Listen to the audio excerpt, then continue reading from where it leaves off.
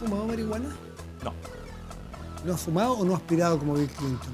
No, no sabría decirte si algún día me comí algún quequito eh, que estaba bien condimentado, no sé. Pero así, eh, conscientemente, no. Muchas gracias. Muy bien.